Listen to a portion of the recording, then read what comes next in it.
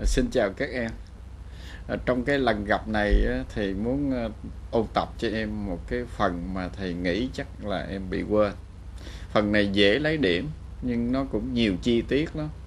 Cái phần này nó ở cái năm mình học ở lớp 10 cho nên để lâu quá em bị quên. Trên cái phần cấu trúc đề thi, tác giả tức là bộ có thông báo cái chương đó mình có thi mà. Do đó trong cái lần gặp này thì sẽ giới thiệu ôm cho em cái phần này à, trước tiên á, là cái đặc điểm của cái electron ở lớp ngoài. Cái đặc điểm electron lớp ngoài cũng dễ nhớ lắm. Nó thông báo cho mình biết cái tính chất cơ bản của nguyên tố. Các em cần phân biệt cái tính chất cơ bản nó khác với tính chất hóa học. Tính chất hóa học thì được mô tả bằng phản ứng hóa học. Còn cái tính chất cơ bản của nguyên tố á, thì nó ý nói là phải trả lời cái nguyên tố đó là kim loại hay phi kim hay là khí trơ. Nhưng mà các em đọc hiểu nhầm, tưởng là tác giả hỏi mình cái tính chất hóa học cho nên thầy muốn ôn cái chỗ này cho em hiểu rõ. Cũng thật là dễ nhớ. Cái đặc điểm electron lớp ngoài, em cần nhớ có tối đa 8 electron. Và cái số e lớp ngoài nó quy định tính chất cơ bản của nguyên tố. Và thầy mô tả trên cái bảng này luôn. Nếu mà mình thấy cái số e lớp ngoài nó hoặc một hoặc A hoặc ba thì mình nói nó là kim loại. Còn nếu mình thấy cái số e lớp ngoài nó hoặc bằng 5 hoặc bằng 6 hoặc bằng 7 mình nói nó là phi kim. Trường hợp mà nó là 4 á, thì mình nói nó hoặc là kim loại hoặc là phi kim.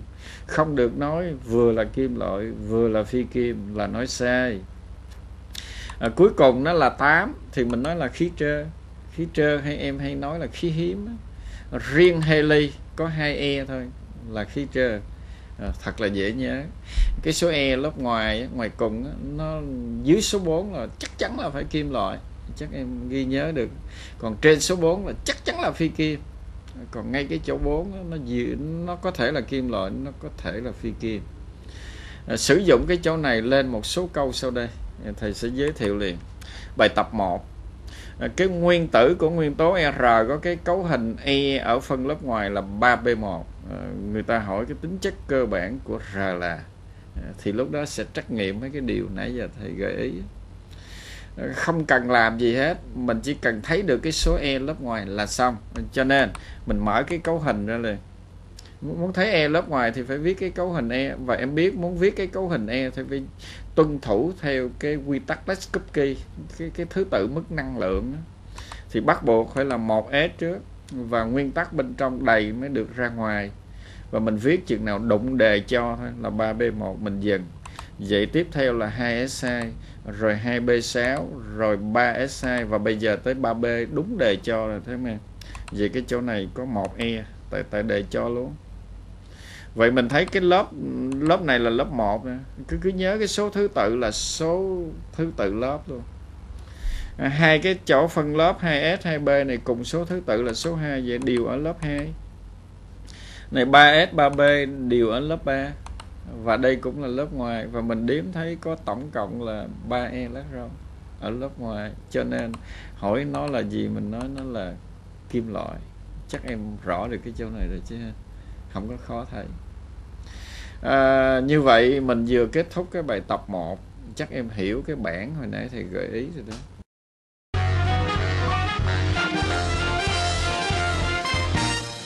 Và bây giờ thầy gợi ý thêm cho em cái bài 2 cái nguyên tử R ờ, có tổng số electron trên các phân lớp là 11 vậy R này là kim loại hay phi kim?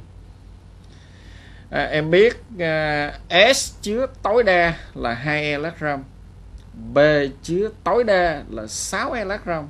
Vậy tại sao mình thấy trên đề nó tổng E trên B là 11 là mình hiểu là có nhiều phân lớp B.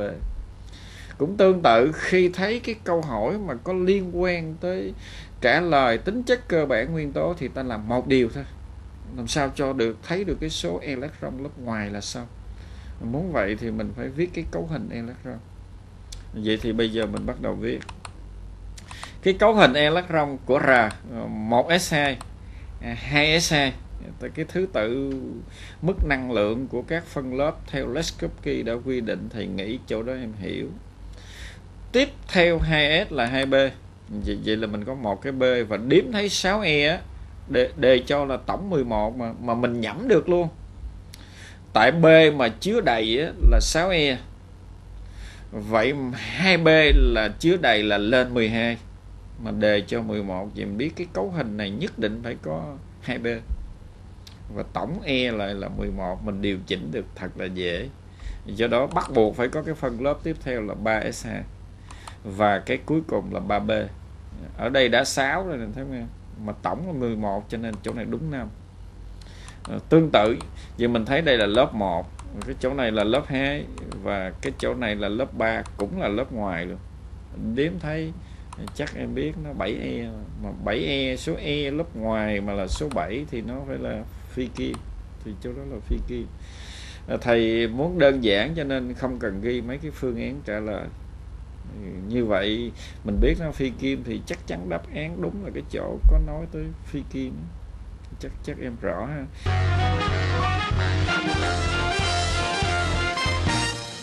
Thì muốn giới thiệu thêm một cái điều nữa ở cái bài tập ôn thứ ba. Cái đặc điểm của cái câu này là cho hai nguyên tố AB mà cái nguyên tố A thì có phân lớp ngoài là 4S còn cái nguyên tố B thì có phân lớp ngoài là 4B và cái câu hỏi của cái câu này là nguyên tố nào là kim loại, nguyên tố nào là phi kim? Thầy muốn cái chỗ này em thật hiểu cho nên thầy không có ờ, giới thiệu cái câu này dưới dạng trắc nghiệm mà thầy ghi nó giống giống như tự luận vậy để em biết bản chất của nó thì chắc là chuyển sang trắc nghiệm nó thành dễ. Vậy thì cái cách giải câu này thì cũng tương tự khi mà hỏi về tính chất cơ bản của nguyên tố thì ta chỉ cần làm sao cho thấy được cái số e lớp ngoài thôi. Vậy mình có thể nhẩm được dễ lắm. Nhưng mà thầy sẽ gợi ý từ từ trước tiên cái phân lớp ngoài của A là 4S vậy mình viết cái cấu hình chừng nào đụng 4S mình dừng và tương tự của B là 4B vậy mình viết đụng 4B mình dừng vậy yêu cầu em phải thuộc cái thứ tự mức năng lượng của các phân lớp. À, như vậy thì mình trả lời bằng mắt thầy thử nói rồi em tưởng tượng coi có hình dung được không? Khi viết cấu hình electron mà tới 4s thì đó cũng là lớp ngoài luôn. Ờ, lý do muốn tới 4s thì trước đó phải là 1s2 2s2 2s2 xong tới 2b6 rồi tiếp theo là 3s rồi 3b tới 4S như vậy, lớp cuối cũng là lớp ngoài cùng luôn. Và S nó chứa tối đa hai electron mà, làm cho thấy được cái số E lớp ngoài bằng hai trở xuống cho đó nhẩm thấy E phải là kim loại và khi gặp cái câu hỏi, nguyên tố nào là kim loại? Nguyên tố nào là phi kim? thì đâu cần giải nữa. Là tương đương đề đã thông báo trong hai nguyên tố đó đó. Có một nguyên tố là kim loại, có một nguyên tố là phi kim. Và quá may mắn mình mới nhìn cái chỗ A biết kim loại rồi, cho nên B là phi kim. Vậy đáp án đúng là cái chỗ mà A là kim loại, B là phi kim. Em hình dung được chứ ha. Còn chưa nữa, thầy sẽ mô tả lên cái gợi ý này như thế này nè. Mình viết cái cấu hình electron của A với B. A viết đụng 4S dừng, tương tự B viết tới 4B và nguyên tắc bên trong đầy mới ra bên ngoài. Thì thầy nghĩ em hiểu được cái chỗ đó. Cho nên mình viết 1S2 rồi 2S2 rồi 2B6 rồi tới tiếp theo là 3S2 rồi 3B6 và đụng đề là 4S vì đề không có nói là mấy E cho nên mình ghi là XE vậy cái lớp ngoài chính là lớp 4 và lúc đó thấy có x electron. Tới, tới chỗ này nãy em thấy thầy nói cái đáp án được rồi đó nhưng mà mình cứ dễ từ từ vậy mình tiếp tục B mình viết tương tự 1S rồi 2S rồi 2B rồi 3S rồi 3B rồi 4S rồi tới 4B như vậy B cũng không cho là mấy E cho nên mình tự cho là Y.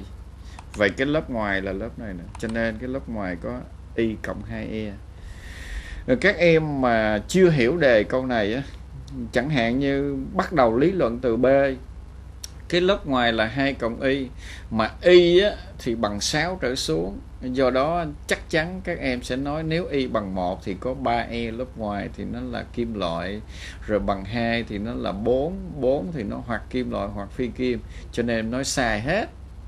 Cái ý của cái câu này tức là có một kim loại với một phi kim và ta thấy cái B không kết luận được, cho nên nhìn vô cái chỗ E. Và khi thấy cái E nó có cái lớp ngoài là lớp 4 mà. Mà đặc biệt là 4S nữa, thì có số E tối đa là bằng 2 cho nên bắt buộc phải kim loại. Và cái còn lại là phi kim, đó là đặc điểm của câu hỏi này.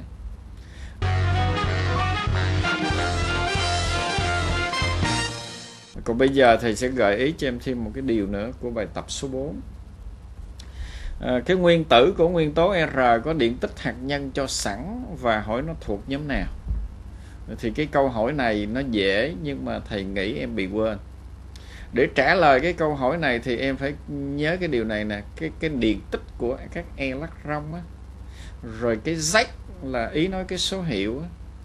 thì z bằng b mà mỗi một hạt proton thì có cái số điện là 1,6 nhân 10 mũ trừ 19 coulomb á cho nên muốn tính được cái z á, thì mình chỉ cần lấy tổng điện tích mình chia 1,6 nhân 10 mũ trừ 19 và ta biết có Z rồi là có nguyên tố và khi có cái nguyên tố thì mình biết là ở nhóm mấy.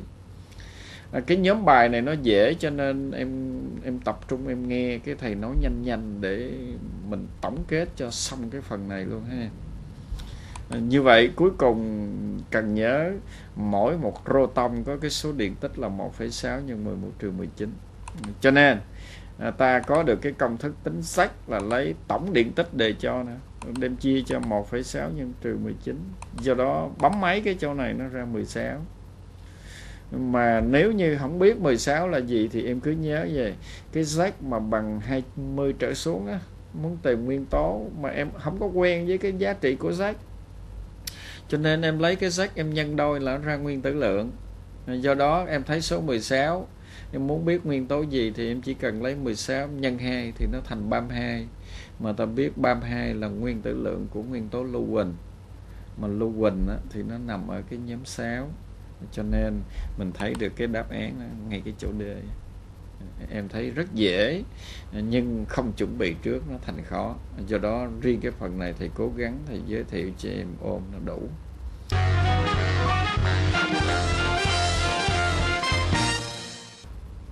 À, thầy muốn ôm ôn cho em thêm một cái vấn đề nữa. Nó dễ mà mình không chuẩn bị trước nó cũng khó. Đó là cái vấn đề của số siêu hóa liên quan tới bản hệ thống tuần hoàn à, số siêu hóa liên quan tới bản hệ thống tuần hoàn là khi mình đọc cái đề cái mình thấy người ta hay gợi ý số siêu hóa dương số siêu hóa âm gì đó. Thì ở cái loại này mình làm có một điều do đó thầy sẽ gợi ý liền. À, cần nhớ điều này nè. À, đối với kim loại thì luôn luôn chỉ có số siêu hóa dương. Còn phi kim nó vừa có dương vừa có âm vậy mình cũng có kinh nghiệm lắm. Ví dụ đọc cái đề lên mà thấy giới thiệu có số siêu hóa dương và âm là biết chắc chắn là cái chỗ đó là phi kim. Riêng cái chỗ mà phi kim này thì mình nhớ thêm hai cái công thức nhỏ nữa. À, nếu thầy quy định cái NO là số siêu hóa dương cao nhất mà em chưa hiểu cái số siêu hóa dương cao nhất thì thầy gợi ý trực tiếp nè. Chẳng hạn như mình thấy lưu huỳnh nè có mức oxy hóa cao là cộng 6 là số dương á. Rồi cái có thêm cái dương nên là cộng 4 và thầy tổng kết lại thì chỉ có hai cái dương là 4 với 6 thì cái cao nhất là cộng 6 đó. Vậy ý thầy đang nói cái NO có số siêu hóa dương cao nhất. Ví dụ của lưu huỳnh mới nói là số 6 đó à, tương tự thầy gọi cái NH là số siêu hóa âm thấp nhất. Thì trong nhiều cái âm nếu có thì mình chọn cái âm thấp nhất đó thì em cần nhớ hai điều thôi. Điều thứ nhất là cái số siêu hóa dương cao nhất là đúng bằng số thứ tự nhóm. Em nghe chắc nó nhớ luôn á. Điều thứ hai, mình lấy tổng cái dương cao nhất chứ cái âm thấp nhất mình bỏ vô trị tuyệt đối á. Tức là mình bỏ cái dấu ra tổng lại là luôn luôn bằng số 8 á. Và hỏi để làm gì nó chút nữa thầy gợi ý. Như vậy em cần nhớ điều thứ nhất là cái số siêu hóa dương cao nhất đúng bằng số thứ tự nhóm và cái điều thứ hai là trị tuyệt đối số siêu hóa dương với số siêu hóa âm tổng lại là bằng số 8 tức là tổng trị tuyệt đối của hai cái số siêu hóa dương âm bằng 8 cái em nhớ thêm một cái điều nữa là cái nguyên tố mà nó thuộc nhóm chẵn thì thường sẽ có số siêu hóa chẵn. Tương tự, nếu nó thuộc nhóm lẻ thì thường sẽ có số siêu hóa lẻ cái mục đích thầy thêm cái cái ý cuối cùng này là để cho em ít nhớ hơn à, thầy lấy ví dụ liền. À, chẳng hạn như clo nó thuộc nhóm 7 và có lúc ta cần biết cái lo có những cái mức oxy hóa nào thì mình vận dụng mấy cái gợi ý này liền. Vì lo thuộc nhóm 7 nên số oxy hóa cao nhất là phải cộng 7 là tại mình có cái công thức NO bằng số thứ tự nhóm á. rồi cái thấp nhất á, cộng cái cao nhất mà bỏ cái dấu ra ngoài là bằng 8 mà cho nên cao nhất là 7 thì dưới đáy là phải trừ 1 em rõ rồi chứ ha? Và lo thuộc nhóm 7 là nhóm lẻ mà. Vì số siêu hóa toàn là lẻ, cho nên những cái còn lại mình sẽ thấy được liền này dưới cộng 7 là cộng 5 dưới cộng 5 là cộng 3 dưới cộng 3 là biết nữa là cộng 1 như vậy mình sẽ tự thấy được nhiều lắm. Còn riêng cái chỗ này, nếu đi thi thì thầy gợi ý gần nè khi em mở cái đề ra mà thấy cái câu hỏi có nói tới số siêu hóa dương âm gì đó, thì em nhớ cho thầy là làm một điều thôi. Là phải làm sao chỉ ra được cái NO tức là cái số siêu hóa dương cao nhất bằng số mấy là xong. Về cái mục đích mình làm điều đó đó, để mình nói nó ở nhóm nào. Và khi mà mình biết được nó ở cái nhóm thứ mấy rồi á, là tự nó tới đáp số dễ dàng luôn. Em hiểu cái điều thầy muốn nói rồi chứ như vậy, cái chương này thật là nhẹ nhàng luôn. Ờ, còn bây giờ thầy sẽ minh họa cái bài tập để em hiểu hơn. Ờ, chẳng hạn cái bài tập tiếp theo này là bài tập số 5 ờ, cái đặc điểm đề em thấy rồi đó có cái nguyên tử của cái nguyên tố x cần tìm. Cái đặc điểm là có cái số siêu hóa dương cao nhất bằng 5 phần 3 số siêu hóa âm thấp nhất. Cái hỏi gì chứ x này có số e lớp ngoài là bằng số mấy? Hồi nãy mình có nói tới cái đặc điểm số e lớp ngoài á, thì ngoài ra nó còn có mấy cái gợi ý nữa. Chẳng hạn làm sao mà mình thấy được cái nguyên tố đó cái mình kết luận được nó có mấy e lớp ngoài cũng có công thức nữa. Ví dụ thầy nói dễ thấy nè cái số e lớp ngoài là bằng luôn cái số thứ tự nhóm. À mình biết luôn. Cái số thứ tự nhóm này nè chỉ cần biết cái NO bằng mấy là xong rồi. Và mình có thể nhẩm. Giờ mình tập nhẩm nha cái số siêu hóa dương cao nhất bằng 53 số siêu hóa âm thấp nhất. Rồi cái mình lại còn có thêm cái tổng là bằng 8 nữa. Cho nên buộc cái cao phải 5 cái thấp phải 3 tại cái tỷ lệ 53 cộng lại đúng 8 luôn mà. khỏi dễ. Vậy nguyên tố ít này ở nhóm 5 mà nếu ở nhóm 5 thì tự nhiên phải có 5e lớp ngoài. Em thấy đáp án rồi đó, là ngay chỗ B mà nếu chưa hiểu thì em nhịn đây cái thầy ghi cho thấy. Như vậy, theo đề thì mình có cái điều này.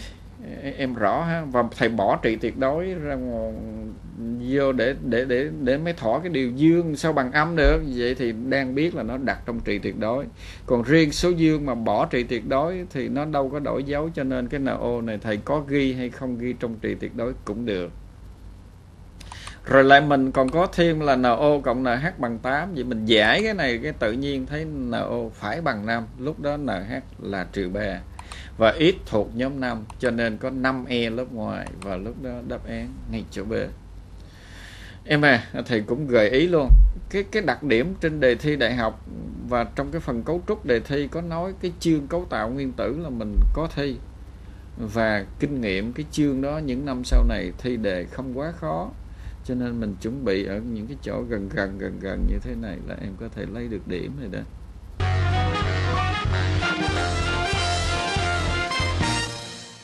Còn bây giờ thầy muốn thêm điều nữa. Đó là bài tập số 6 cái bài tập số 6 này cho tương tự cho như thế này. Cái nguyên tử của nguyên tố X á, có cái đặc điểm là tổng số siêu hóa dương cao nhất với hai lần âm thấp nhất bằng trừ một xong hỏi đó là nguyên tố nào? À, mình hiểu ý rồi. Mình nhận xét đề.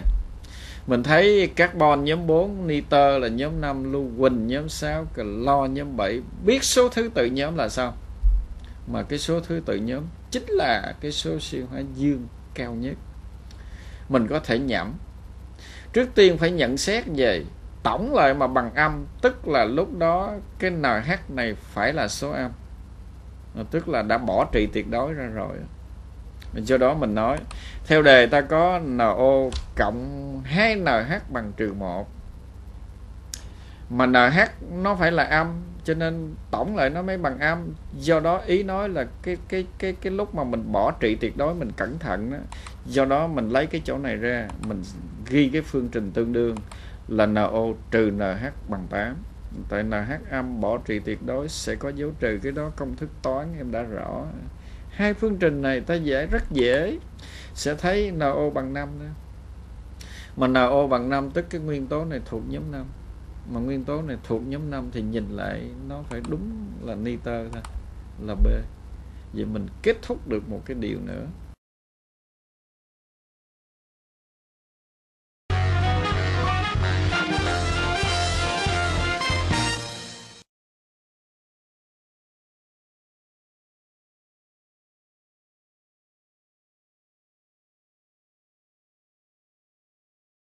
Còn bây giờ thầy muốn gợi ý nhanh thêm một cái tiếp theo nữa đó là cái sự tạo thành y âm. Em à cái chỗ này dễ mình cũng đi nhanh nhanh một chút. À, y âm nó có được là do nguyên tử hay một nhóm nguyên tử nó nhường e hoặc là nhận e? Vậy cứ nhớ vậy nè à, khi mà nguyên tử hay nhóm nguyên tử mình nó nhận e vào á, thì nó thành y âm hoặc nó nhường e thành y âm mà không phải ghi tùy ý mà nó có công thức nữa. Cụ thể thầy sẽ ghi liền. À, cái y âm nó có được là do như thầy gợi ý cho em này đó theo công thức sau đây. Hãy m mà nó nhường ne thì nó biến thành y âm dương n cộng mà hãy nhận vô ít e hay là m cái e thì biến thành m trừ. Thì có mấy cái quy luật cần nhớ. Thứ nhất cái số điện tích này luôn luôn bằng số 3 trở xuống. Ý nói cái số e cho nhận này là bằng 3 trở xuống thôi à, cũng nói thêm nữa em. Cái chỗ này nè. À, cái sự nhường nhận e này nó chỉ xảy ra ở lớp ngoài thôi. Ở lớp ngoài cùng á. Tức là phải nhường hay nhận e từ ngoài vào trong. Chắc em cũng rõ. À, cái loại này mình chỉ cần nhiêu đây là giải được bài tập rồi. Còn muốn nói thêm cho dự đoán tốt hơn nữa thì em cần ghi nhớ vậy nữa. Cái nguyên tố mà tham gia tạo ion âm á thì thường là nguyên tố phi kim à ý muốn nói vậy nè khi mà mình nhìn vô cái cái ion mà cần tìm mà thấy ion âm thì mình dự đoán các cái nguyên tố nằm trong đó là phi kim đó. thì nói cái điều đó để mình gặp mấy cái câu mà mình giải trực tiếp theo kiểu tương tự tự luận đó, là mình phải có một chút xíu biện luận đó. mình biết phi kim thì nó nằm ở các nhóm 4 đến 7 thôi mà mà mình thấy được cái điều đó là mình thu hẹp cái miền biện luận rồi và thầy nghĩ cái chỗ đó phải có cái bài tập cụ thể á, thầy nói các em hình dung nó dễ. Do đó thầy sẽ à, dừng ở cái chỗ này. Thầy gợi ý cho cái bài tập số 7 cái ion R2 có cái cấu hình electron là 3B6 vậy cái vị trí của nó trên bảng hệ thống tuần hoàn. Ờ, cũng không có khó. Tất cả đều liên quan tới cái cấu hình electron thấy không em cho nên ờ, trước tiên em nào mà còn trục trặc ở cái phần ghi cấu hình electron á, thì qua cái lần ôn tập này mục đích thầy muốn em phải làm cho cái chỗ đó nó thông suốt. À, mình viết cái cấu hình electron của bài này là sẽ thấy được cái cách giải thấy được đáp án gì luôn đó mà gợi ý của đề cho rất rõ cái phân lớp ngoài là 3B6 vậy mình viết chừng nào đụng 3B6 mình dừng.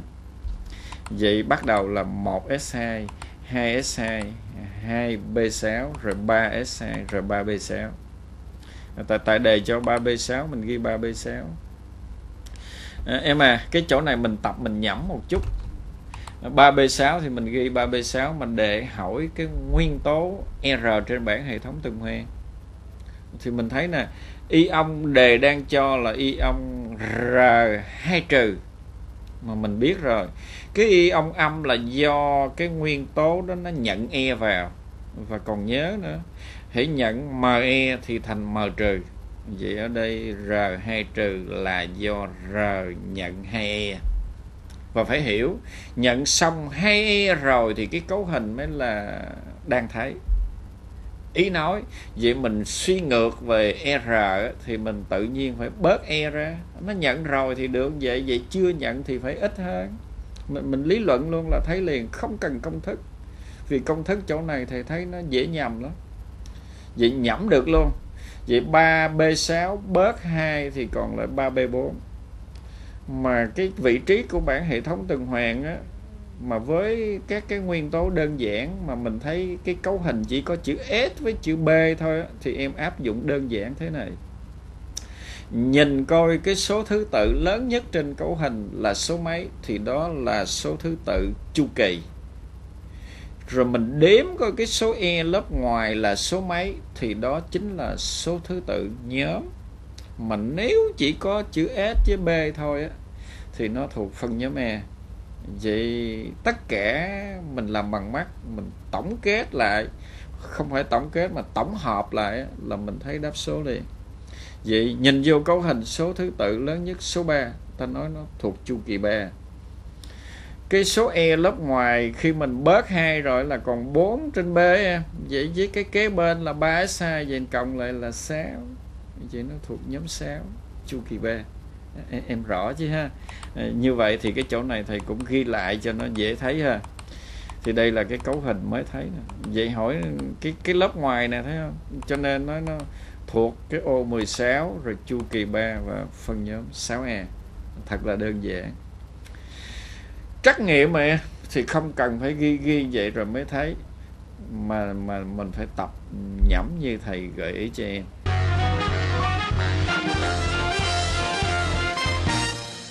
Còn bây giờ thầy muốn giới thiệu cho em một cái bài nữa là số 8 bài này đặc điểm thế này. Có cái y ông R cộng, có cái phân lớp ngoài là 2B6 cũng hỏi tương tự. Thầy muốn cái câu này nè, em phải làm bằng mắt. Vậy mình làm hai lần nha. R cộng mà có cái cấu hình 2B6 vậy mình phải hiểu là lúc đó nó đã nhường 1E tại R này một cộng nhường xong một e được 2B6 vậy lúc chưa nhường là phải nhiều hơn một e mà mình biết tới 2B rồi thì kế tiếp là 3S như vậy thì cái nguyên tố R đang tìm này, dự đoán được. Rồi có cái cấu hình lớp ngoài là 3S1 số 3 là số thứ tự chu kỳ. Lớp ngoài có một E vậy thuộc phân nhóm 1 và hiển nhiên, cái cấu hình chỉ có S với B là phân nhóm E còn nói đủ nữa, nói luôn số thứ tự, số thứ tự ô chính là Z luôn đó mà chưa rõ thì chắc thầy phải ghi lại. Vì chỗ này em nghe thầy gợi ý. Cái cấu hình của R cộng, mình viết chừng nào đụng đề cho là 2B6 ghi B6 R cộng là do nó mất E rồi, vậy lúc chưa mất phải nhiều hơn một E vậy lúc đó mình viết được cái cấu hình là 3S1 đến đây mình nói được nó thuộc cái ô mình đếm được là 11 và cái chu kỳ 3 và phân nhóm 1E thì cái cái cái cái cái cái phần này nó không có quá khó. Và nếu em có theo dõi và tham khảo thêm cái đề thi rồi ví dụ của 2007 á, thì đề cho cũng ở cái mức độ tương tự như thế này thôi.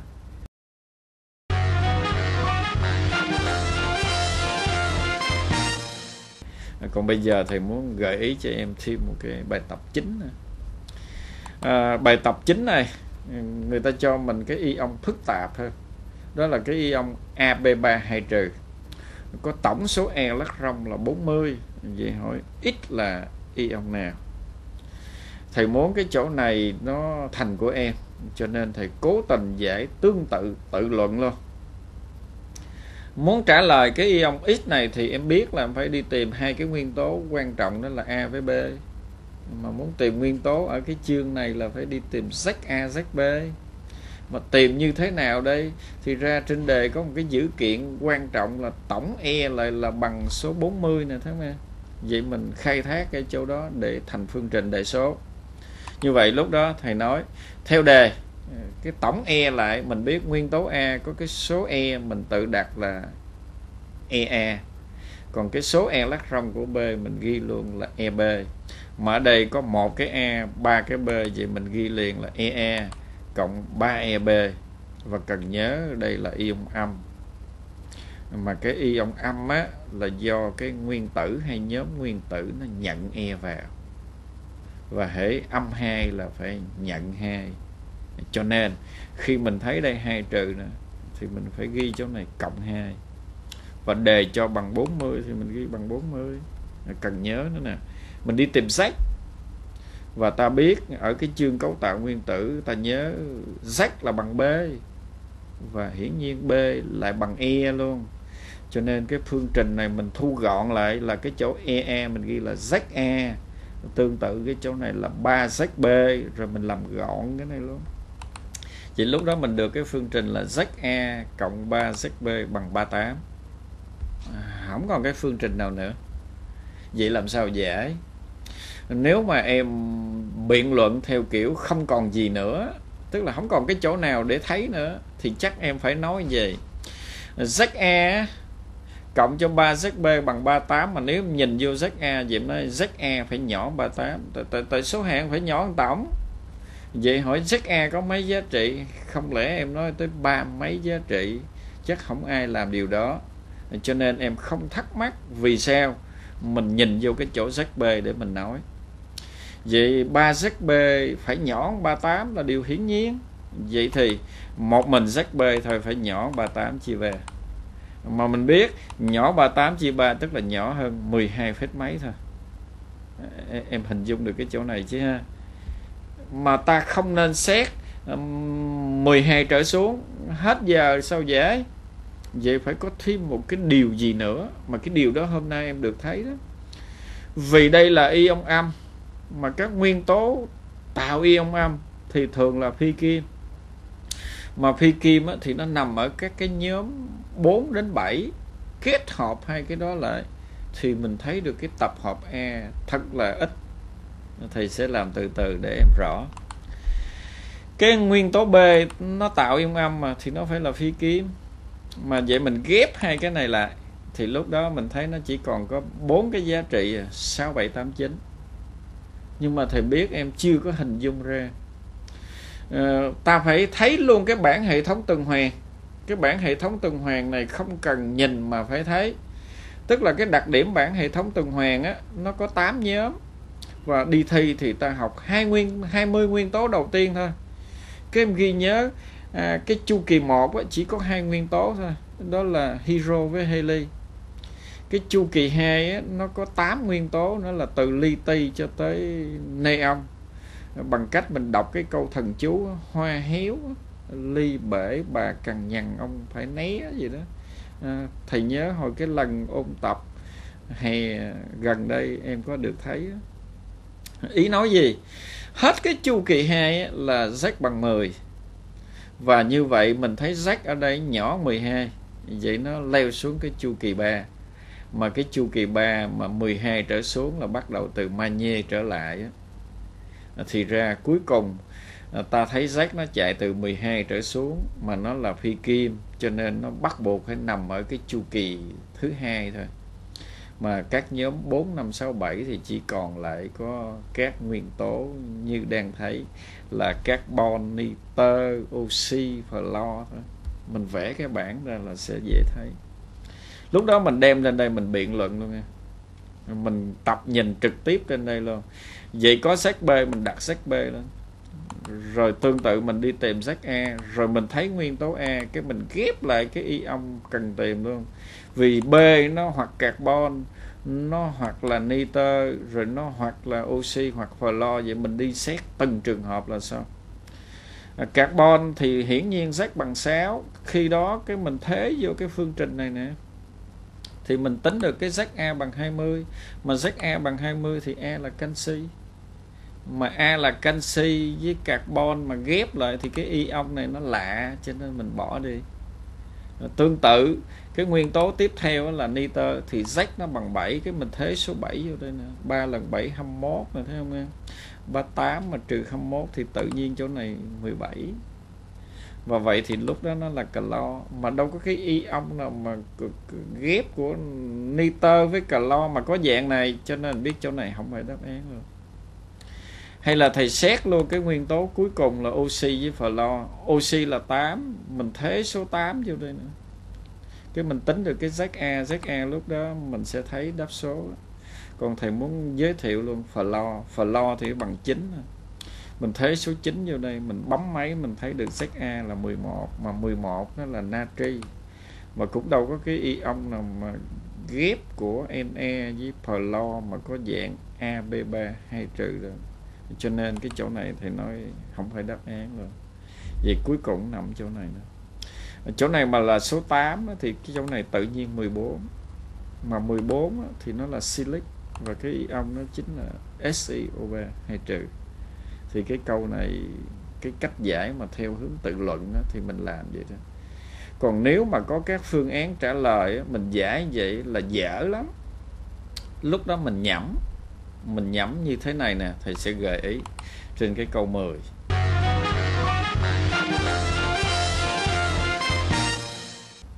cái câu 10 á, người ta cho mình tổng cái ion AB3 2 trừ bằng 40 tổng số proton bằng 40 á. Thì thì cái đặc điểm của cái câu này nó khác cái câu chính ở chỗ là người ta cho tổng số hạt proton. Còn cái câu chính thì cho tổng số hạt electron. Thì cái chỗ này em hay bị nhầm lắm em nhớ cái ion có được là do nó nhường hoặc nhận electron. Ý nói là cái số proton nó không có thay đổi. Cho nên, cái phương trình cái chỗ này em cần thấy là lấy BE B là số hạt proton đó. có ba cái B cho nên ghi ba cái B. Do đây là âm 2 cho nên các em hay bắt trước hồi nãy là cộng vô 2 là sai. Tại đang nói số hạt proton mà. Cho nên nó bằng 40 chứ không có cộng hay bớt ra gì cả. Thì ra tới đây nó giống cái đặc điểm câu hồi nãy. Mình sửa lại tương đương sách A cộng 3 sách B bằng 40 và như vậy cái sách B á, mình nói được là nó nhỏ hơn 40 chia 3 chắc chỗ này em hiểu. Và lúc đó mình bấm máy nó dưới 13,3 nó dưới 13,3 có cái bảng hệ thống tuần hoàn đó, mình chặn lại được rất dễ và còn cái yếu tố quan trọng như nói cái nguyên tố tham gia tạo ion âm là nguyên tố phi kim mà mà mình đang lý luận trên B cho nên mình giới thiệu cái B liền. Cái B này tạo ion âm cho nên B là phi kim. Mà phi kim thì phải nằm ở các nhóm 4, 5, 6, 7 mà ở các nhóm 4, 5, 6, 7 mà có rách dưới số 13 thì còn lại có 4 nguyên tố thôi. Carbon là 6 nitơ là 7 oxy là 8 và cuối cùng là flo do đó, cái chỗ này mình kết luận nó là ba nguyên, bốn nguyên tố này. Cái cũng tương tự mình đưa lên cái bảng. Vậy thì cái chỗ này mình xét từng cái b. Lúc đó mình thấy rách b là mình có cái rách a luôn nhờ cái phương trình này nữa vậy mình có được e thì cái ion mình lựa cho nó hợp lý. Bằng cách mình thế vô, thấy nó kỳ, mình nói chỗ đó không phải đáp án vậy khi mà cái B này là carbon thì cái chỗ này là số 6 mình dễ tương tự số 9 hồi nãy em. Thì thế số 6 vô đây thì mình thấy cái chỗ này là 22 mà 22 là titan. Mà đâu có cái ion nào mà có titan ghép với carbon có dạng này, cho nên chỗ này nó loại luôn. Vậy mình xét tiếp cái nitơ thì cái chỗ này là 7 mà vậy thì cái lúc đó này là 19 mà 19 thì nó là kali. Mà kali thì cũng loại luôn vậy tiếp theo là oxy oxy là 8 còn cuối cùng là flo thì flo là 9 mà chính mình thế vô đây thì mình thấy cái chỗ này là 13 mà 13 nãy giờ em đang thắc mắc là sao mình biết 13 là cái gì hay là mình nhìn thấy 19 sao biết kali? Thì tại trước đây thầy có gợi ý, cho nên thầy nghĩ cái chỗ đó em rõ. Còn nếu bị quên á, thì mình chỉ cần lấy cái sách mình nhân đôi thì nó lớn hơn hoặc bằng nguyên tử lượng mà. 13 mình nhân 2 26 26 không có nguyên tố thì mình lấy lớn hơn một chút là 27 á, là nhôm á. Và không có cái ion của nhôm với clo có dạng này cho nên chỗ này mình loại luôn. Vậy khi mình thế vô chỗ này ra 16 là lưu huỳnh mà lưu huỳnh thì cái ion này là SO3 hay trừ như vậy cái mục đích mà thầy giải hai cái câu 9 10 á, để em phân biệt hai cái điểm khác mà mình sơ ý á, mình tưởng nó là một. Hai cái chỗ đó là cái chỗ cho tổng hạt electron với tổng hạt proton á. nếu nói electron thì mình theo công thức hệ nó tạo ion dương á, thì nhớ trừ ra. Còn tạo ion âm á, thì nhớ cộng vào. Còn đang nói tổng hạt proton đối với ion thì nhớ nó không có thêm hay bớt gì cả thì đó là đặc điểm của câu số 10 còn nếu cái loại câu này mà có các cái phương án trả lời thì nó trở thành quá dễ. Lúc đó mình kiểm tra trực tiếp luôn chứ đừng có giải ví dụ như ghi sẵn các phương án trả lời thì mình thấy liền cái đáp án. Ví dụ thầy muốn minh họa trực tiếp trên đây mà không cần thêm câu hỏi. Chẳng hạn như tổng hạt proton bằng 40 thì em biết đáp số là cái chỗ này là tại vì S, mình biết là 16 O là 8 vậy ta lấy cái máy tính ra 3 nhân 8 cộng 16 đúng 40 luôn. Chỗ đó là đáp án. Em, em hình dung được cái chỗ này em à vì mình phải dừng ở đây cho nên còn một cái số điều nữa mà thầy dự định hôm nay nói cho em mình nói không có kịp cho nên cái phần kết thúc này thầy sẽ để vào cái lần gặp tiếp theo. Vậy thôi mình à, dừng ở đây. Xin thân ái chào tạm biệt các em.